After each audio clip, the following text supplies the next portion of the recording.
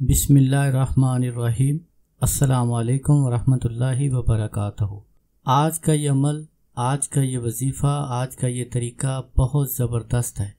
अगर आपने देखना हो कि आपका महबूब बद चलन है या नेक है, आपके साथ मुखलिस है या नहीं है, आपके अलावा किसी और से मोहब्बत करता है या नहीं करता तो आप इस हरूफ अबजद की मदद से देख सकते हैं।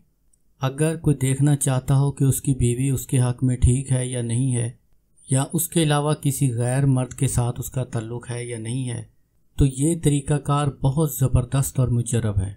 अल्हम्दुलिल्लाह, मैंने जितनी मरतबा भी इस तरीके को आजमाया है, मरीज़ आते हैं, चेक करता हूँ और बिल्कुल सौ फ़ीसद दुरुस्त नतीजा निकलता है। आप अक्सर आमलों से, पीरों से हिसाब लगवाते हैं कि देखें कि जी मेरा महबूब मुझसे मोहब्बत करता है या नहीं करता, या मेरी बीवी मेरे साथ कैसी है उसका कहीं कोई नजायज़ तल्लुक़ तो नहीं है। तो आपको यकीन नहीं होता कि अगले बंदे ने आपको सच कहा है या झूठ बोला है। हो सकता है कि उसने झूठ बोला हो और आपकी ज़िंदगी ख़राब हो जाए। या हो सकता है कि उसने आपसे सच बोला हो और उसकी वजह से आप धोखे में रह जाएँ और कल को आपको बहुत बड़ा नुकसान हो जाए। यानी अगर आपकी बीवी या आपकी मशूक नेक है, लेकिन उसने कह दिया कि उसका किसी गैर मर्द के साथ ताल्लुक़ है तो आप लोगों के दिल में एक नफ़रत पैदा हो जाएगी, हो सकता है कि आप उसको तलाक दे दें या उसको छोड़ दें। लेकिन अगर आपका महबूब या किसी की बीवी किसी गैर मर्द के साथ ताल्लुक़ रखती है और आमिल ने हिसाब करके कह दिया, नहीं जी, वो तो बहुत नेक है, और आप उनसे बेफिक्र हो जाएँगे, आप उन पर तवज्जो नहीं देंगे, उनके ऊपर नज़र नहीं रखेंगे, और खुदा न खासा कल को किसी और के साथ निकल जाए, भाग जाए तो ये आपको बहुत बड़ा नुकसान होगा। मेरे नज़दीक सबसे बेहतरीन तरीका यह है कि आप खुद चेक करें, ताकि किसी किस्म का कोई शक व शुबा ना रहे। ये तरीका इंतहाई आसान है, हर ख़ास आम इसको कर सकता है, इसमें कोई भी मुश्किल नहीं है। आपके महबूब के दिल में क्या चल रहा है, आप इस तरीके से वो भी देख सकते हैं। इसमें सारा तल्लुक जो है, इस तरीके में हरूफ अबजद का है। हरूफ अबजद से नामों के अदाद किस तरह निकाले जाते हैं चैनल पर वीडियो मौजूद है उसका लिंक मैं डिस्क्रिप्शन में भी दे दूँगा। आप इस तरह करें। आप देखना चाहते हैं कि आपका महबूब नेक है बद चलन है, आपके अलावा किसी और के साथ उसका ताल्लुक है या नहीं है। जो भी सूरत हाल देखनी हो, अपनी बीवी की देखनी हो, किसी भी औरत का देखना हो तो आप चेक कर सकते हैं। आपने क्या करना है कि मिसाल के तौर पर आज जुमेरात का दिन है। आप जुमेरात एक कागज़ के ऊपर लिख लें, उसके आगे उस औरत का नाम और उसकी वालदा का नाम लिख लें। लिखने के बाद अब आप नीचे एक तहरीर लिखें। या अलीम फ़लाँ बिन फ़लाँ, औरत का और उसकी वालदा का नाम। नाम आप पूरा नाम लिखेंगे जो आईडी कार्ड पर होगा, जो निकाह पर होगा। मुकम्मल नाम लिखा जाएगा। या अलीम फ़लाँ बिन फ़लाँ का किसी के साथ ये कैसी है? या अलीम फ़लाँ बिन फ़लाँ, ये औरत नेक है या बद चलन है? आप इस तरह तहरीर लिख लें। या आप लिख लें, या अलीमु फ़लाँ बिन फ़लाँ, नेक है या बुरी है। या अलीमु फ़लाँ बिन फ़लाँ, मेरे साथ उसका रवैया कैसा है? जो भी आपके जहन में तहरीर आए, वो आप पूरी तहरीर लिख लें। और जिस दिन सवाल किया जा रहा है, यानी आज आपने चेक करना है तो आज जुमेरात है तो आप लिखेंगे सात जुमेरात। सारी तहरीर लिखने के बाद सात जुमेरात लिखें। आप इन सब के अदाद निकाल लें। हरूफ अबजद की मदद से उसका तरीका, उसकी वीडियो आपको डिस्क्रिप्शन में मिल जाएगी। अब पूरी इबारत जो है, आप उसके अदाद निकाल लें। अदाद निकालने के बाद आप इन सबको तीन के ऊपर तकसीम कर दें। अगर एक बचे तो औरत नेक किरदार है, साहिब असमत है, नेक चाल चलन की मालक है, पर्देदार है, बहुत अच्छी है। अगर दो बचें तो नहायत बद किरदार है। शहवत परस्त है। कभी भी एक शोहर से या कभी भी एक महबूब से राज़ी नहीं होगी। अगर वो बीवी है तो अपने शोहर के अलावा उसका गैर मर्दों के साथ ताल्लुक़ होगा।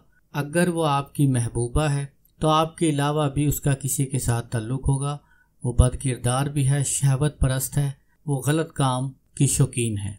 अगर कुछ ना बचे तो आप समझ लें कि वो आपको भी खुश रखती है और दूसरों के साथ भी उसका ताल्लुक है। अगर किसी की बीवी होगी और कुछ ना बचे तो वो समझ ले कि वो अपने शोहर को भी खुश रखेगी और दूसरे आशना लोगों से भी ताल्लुक रखेगी।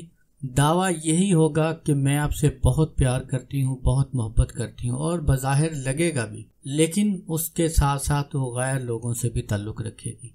ये बहुत ज़बरदस्त तरीका है, ये सबसे बेहतरीन तरीका है। इसमें एक ज़रा भी गलती की गुंजाइश नहीं होती, सौ फ़ीसद जवाब निकलता है।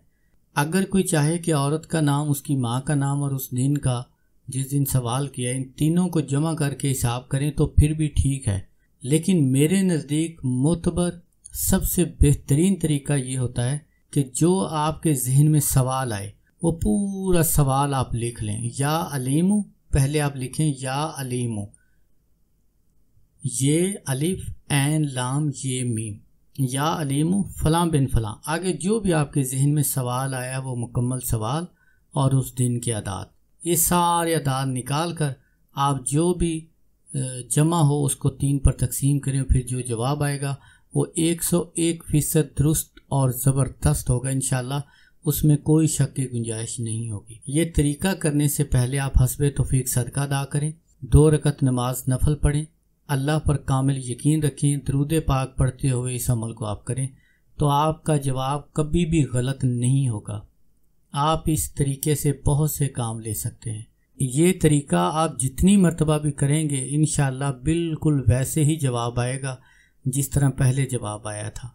आप अपने इलाके में, अपने मोहल्ले में, अपने रिश्तेदारों में किसी भी औरत के बारे में जान सकते हैं, लेकिन किसी का पर्दा ज़ाहिर करना किसी को किसी के ऐब निकालना, किसी के राज फाश करना, ये सख्त गुनाह है, इसकी माफ़ी नहीं होती। तो जहाँ तक हो सके नजायज़ और बिला वजह किसी का हिसाब ना करें। उसका करें जिसकी बहुत ज़्यादा आपको ज़रूरत महसूस होती हो, या जिसका आपको लगता हो कि इसके किरदार में कोई शक है। आप उसके मुहाफ़ हों, आप उसके रिश्तेदार हों, आप उसको समझा सकते हों तो फिर आप ये अमल कर सकते हैं, फिर आप ये तरीका कर सकते हैं। ताकि उसको समझाया जा सके, उसके ऊपर नज़र रखी जा सके। बिला वजह किसी की माँ बहन का हिसाब करके उसको बदनाम करना, जलील करना तो अल्लाह बहुत बेनियाज है। अल्लाह की लाठी बेआवाज़ है। अल्लाह से डरते रहें, अल्लाह का खौफ दिल में रखें, किसी के साथ नजायज़ ना करें। यह सिर्फ़ अपनी महबूबा के लिए या अपनी बीवी के लिए, ये तरीक़ाकार करना चाहिए। बाकी बिला वजह लोगों की माओ बहनों का हिसाब करना और उनको ख़राब करना या उनको ब्लैकमेल करना तो ये बहुत सख्त गुनाह है। अल्लाह से डरते रहें। ये ना हो कल को कोई आपकी माँ बहन का हिसाब करता फिरे। तो अल्लाह से डरें जहाँ तक हो सके। कोई भी अमल हो, कोई भी तरीक़ाकार हो, हमेशा जायज़ काम के लिए किया करें और अल्लाह से मदद भी मांगते रहा करें।